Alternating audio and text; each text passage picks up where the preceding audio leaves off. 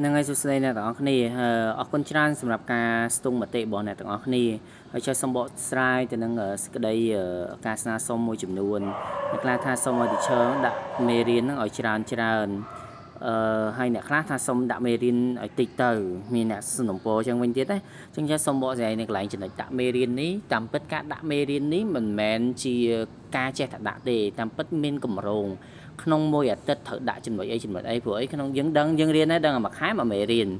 ចឹងក្នុងការដាក់ចំណុចនៃមេរៀនយើងមិនមែនចេះតែដាក់បដិបដាស់តាមអារម្មណ៍ខ្លួនឯងទេសម្បីឈើក៏ដោយគឺឈើមាន plan របស់ឈើហើយ ហើយអ្នកទាំងអស់គ្នាក៏ធ្លាប់ដឹងហើយការរៀននៅថ្នាក់ជាមួយ teacher តែអ្នកទាំងអស់គ្នាឃើញហើយ teacher មានកដាស់ course outline ថ្ងៃណារៀនអីអាទិត្យនឹងរៀនអីថ្ងៃណា present ថ្ងៃណាលំហាត់ថ្ងៃណាអេសាយអីសិតតែមានទាំងអស់អញ្ចឹងសូម្បីអ្នកទាំងអស់គ្នារៀនតាម online ក៏ teacher មាននឹងដូចគ្នាអញ្ចឹងការสนុំពោទៅលើការដាក់មេរៀននេះ teacher អត់អាចដាក់តាមចិត្តបានទេព្រោះអី teacher មាន schedule នៅក្នុងការដាក់ឲ្យរៀនដូចគ្នាដឹងតែធ្វើម៉េចចប់ក្នុងមួយខែចប់ទាំងមេរៀនចប់ទាំងកិច្ចការទាំង workbook ហើយបានទាំងប្រឡងទៀតសំខាន់អ្នកទាំងអស់គ្នាធ្វើតែកិច្ចការហ្នឹងតាម teacher ទៅបានហើយហើយមួយទៀតគេสนំពោតកតងទៅនឹងកិច្ចការបរិញ្ញារបស់ឈើហ្នឹងថា teacher ហ្នឹងបរិញ្ញាលឿនអឺ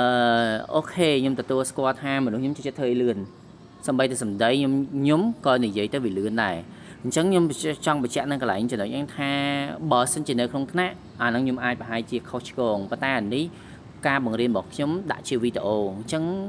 ខ្ញុំខ្ញុំកំពុងតែឆ្ងល់ថាបើថាខ្ញុំបរៀនលឿនពេកហ្នឹងចុះហេតុអីអត់ខាចុះខាឡើងស្ដាប់ប្រហែល3 4 5ដងទៅខ្ញុំកំពុងតែនិយាយពីអីនៅក្នុងវីដេអូហ្នឹងអញ្ចឹងខ្ញុំចង់បកស្រាយអ្នកទាំងអស់គ្នា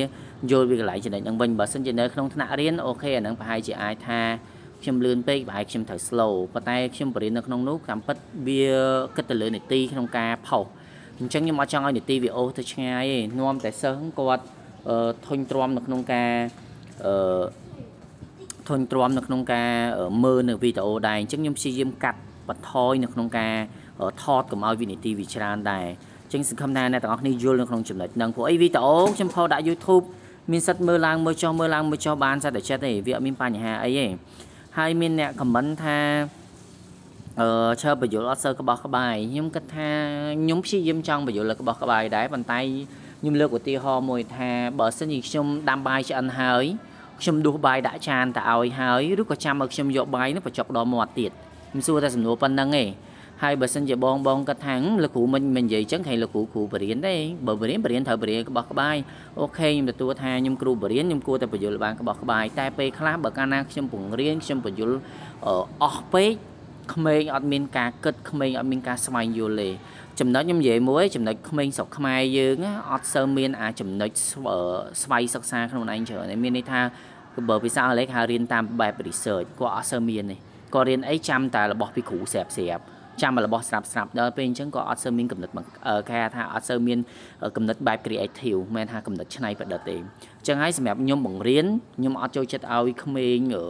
មានរបស់ស្រាប់ស្រាប់ពេកទេលក្ខណៈថាតម្រើសកូនណាខ្ញុំអត់ចូលចិត្តអញ្ចឹងទេ ចឹងខ្ញុំបង្រៀនឲ្យពួកគាត់ស្ដាប់ហើយឲ្យពួកគាត់គិតហើយនៅក្នុងកិច្ចការបង្រៀននីមួយៗនៅក្នុងវីដេអូខ្ញុំក៏បានធ្វើការបញ្យលណែនាំបានខ្ញុំក៏បានប្រាប់ដែរថា teacher នឹងមិនបញ្យលច្រើនពេកទេភាគច្រើនទុកឲ្យកូនស្វ័យសិក្សានឹងធ្វើបន្ថែមនៅក្នុងលំហាត់គ្វីឬក៏លំហាត់នៅក្នុង workbook ខ្ញុំបានបញ្ជាក់អញ្ចឹងសូមអ្នកដែល comment ថាខ្ញុំបញ្យលអត់សូវក្បោះក្បាយនឹងស្ដាប់សេចក្តីបកស្រាយខ្ញុំកន្លែងហ្នឹងទៅហើយបើថានៅតែបញ្យលស្របទេខ្ញុំក៏អត់ដឹងថាមិនដែរ ហើយអ្នកដែលសុំឲ្យថែមមាន present តាមពិត present ជាឈើចង់ដាក់ដែរចាំមើលឈើគិតសិនណាច្រើននឹងរៀបគម្រោងនឹងគិតឲ្យបានច្បាស់លាស់ច្រើននឹងបន្ថែមកម្មវិធី presentation នឹងឲ្យសំខាន់ឲ្យតែកូនកូននៅគ្នាចូលរួមធ្វើទៅហើយអ្នកខ្លះចង់ឲ្យរៀនខជាវីដេអូរៀនតាមខតាមឆាតតាមអីចឹងណាតកតងនឹងការខតាមវីដេអូឬកម្មវិធី Zoom កម្មវិធីអីកម្មវិធីទាំងអស់នោះសិតតែមានបញ្ហាទាំងអស់ឥឡូវខ្ញុំប្រាប់បញ្ហាត្រួសត្រាសពីកម្មវិធី Zoom មុនចុះទីមួយវាទាមទារអ៊ីនធឺណិត កបៃខ្ពស់ហើយឥឡូវបច្ចុប្បន្នអ៊ីនធឺណិតទូរស័ព្ទអីមួយមួយ slow ណាស់ទំស្បីតែតែឈើប្រើក៏ slow ដែរណាហើយទី2ឥឡូវបច្ចុប្បន្ននេះអ្នកដែលប្រើកម្មវិធី Zoom នឹងមានការឆ្លងប្រព័ន្ធពី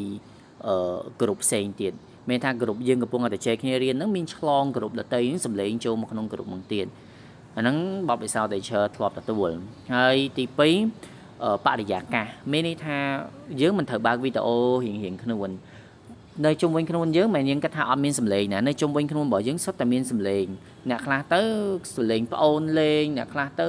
សម្លេងម៉ូតូឡានសម្លេងអីចឹងយើងគិតថាត្រឹមតែ10នាក់5 10នាក់សម្លេងទាំងអស់ហ្នឹងបុកចូលមកយើងស្ដាប់ឡើងហឹងក៏ជាចុះល្មមមកគ្នាយើង30 40នាក់ពិចារណាមើលចឹងហើយបានជាកម្មវិធី Zoom ទីឈើដាក់ឲ្យរៀនអត់កើតដោយសារឈើគិតពីបញ្ហាអស់ហ្នឹងហើយអរគុណសម្រាប់អ្នកដែលថាឲ្យឈើសុំតបឆាតឲ្យលឿនសម្រាប់ការតបឆាតពេលខ្លះទៅ អឺ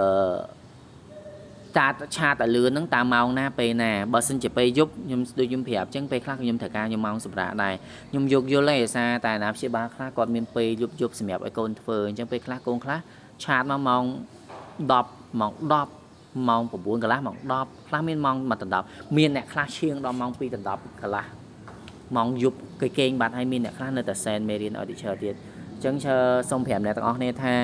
ការតបឆាតនេះឈើនឹងព្យាយាមតបឲ្យតាន់តាមពេលវេលាណាតែសំណុំពរឲ្យសិស្សទាំងអស់គ្នាប្រឹងប្រែងព្យាយាមរៀននិងតបឆាតគ្រូនឹងក៏ឲ្យតាន់ពេលវេលាដូចគ្នាដែរកុំឲ្យ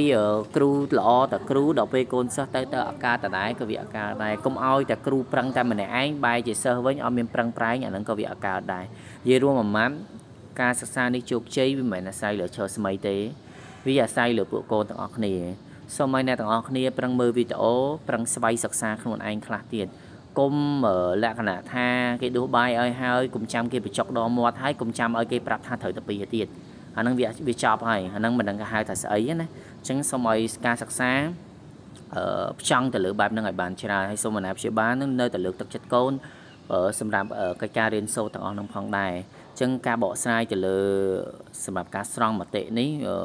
តែប៉ុណ្្នឹងទេហើយខុសលួស យ៉ាងណាក្តីសូមខន្តីអភ័យទោសទាំងអស់គ្នាផងហើយអ្នកដែលអត់បាន response ផ្សេងៗទៀតសូមមេត្តាធ្វើមកណាច្រើននៅចាំតដែរអរគុណច្រើនសំណាងល្អ